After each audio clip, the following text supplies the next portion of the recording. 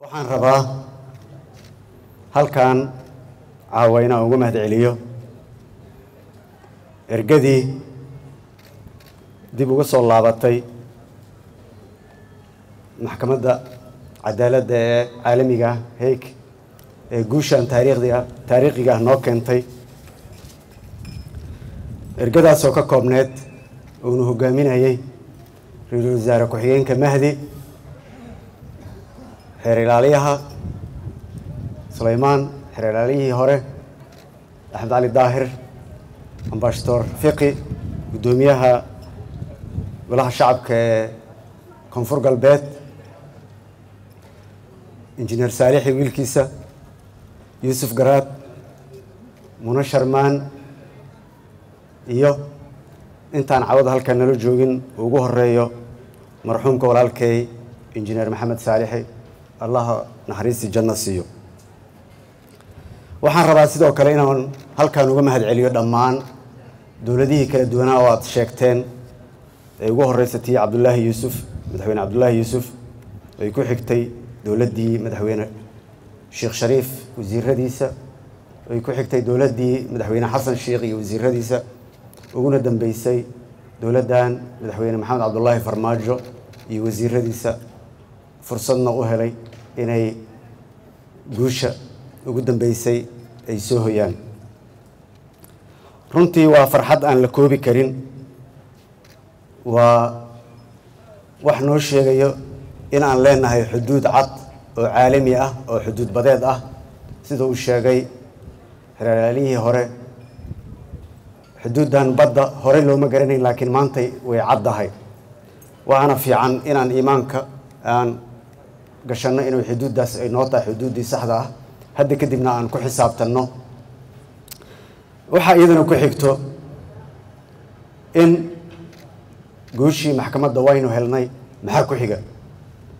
Waxaa ku xiga fulinteedii oo u baahan dad sax ah oo ka shaqeeyo oo hore u sii wado waxa ay walaalaheen caawada ay soo hoyeen.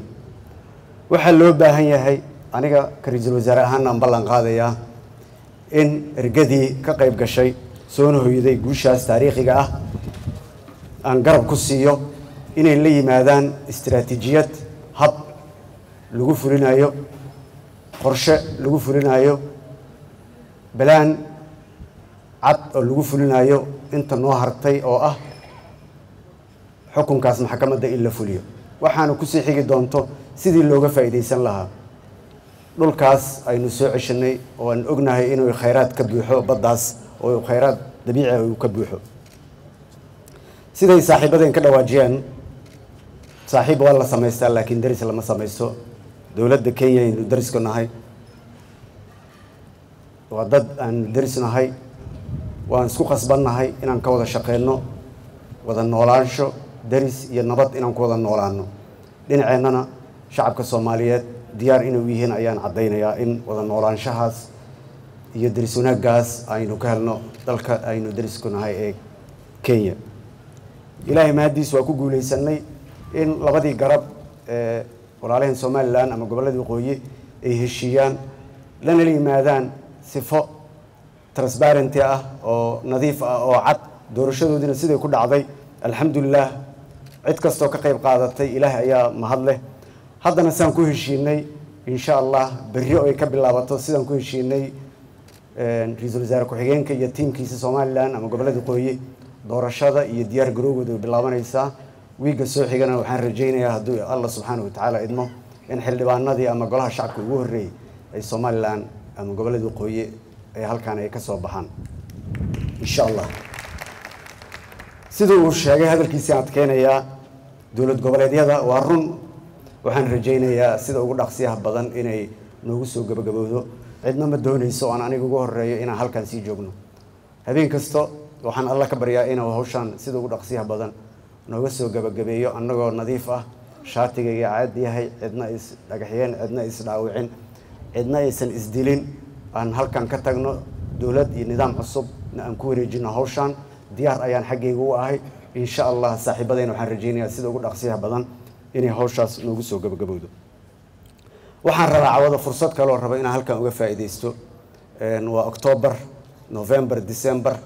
Gobollada qaarkood xilligii abaaraha iyo jiilaalka ayaa bilowday. Saad la socotaan jubbaland xaalad adag oo adag ayaa ka jirta oo abaar ah oo biyo la'aan ah. Hadday ku sii darsoonto oo aysan roob ama aysan helin gargaar deg deg ah january iyo february iyo march april a ugu soo horreeya marka abaar dheer ayaa qabsan doonta hadduusan ilaahay albaabaha nimcadiisa uusan noo furin. Waxaan rabaa inaan wasaaradahayga aan u sheegay inay u diyaar garoobaan sidii goboladaas iyo dowlad goboleedyadaas gacan loo siin lahaa sida ugu dhaqsiyaha badan haddii aan lahayd wasaaradda gargaarka wasaaradda caafimaadka dhexda loo xirto wixii subaxii ka bilowdana aynu u diyaar garoobno. Wasiir baylena waa i hor fadhiya.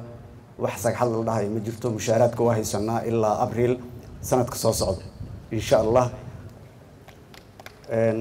mushaaraadkeena meel u yaallaa haddii aan lahayd mushaaraadka ciidamada haddii aan lahayd shaqaalaha rayidka intaasoo dhan waa haysanaa wixii zaa'id ayaan noo dhiman laakiin insha allah waa inaan dhexda u xiranaan u xiranaa oo aan saacidnaa walaalaheen ay abaaruhu saameeyeen sida ugu dhaqsiyaha badan.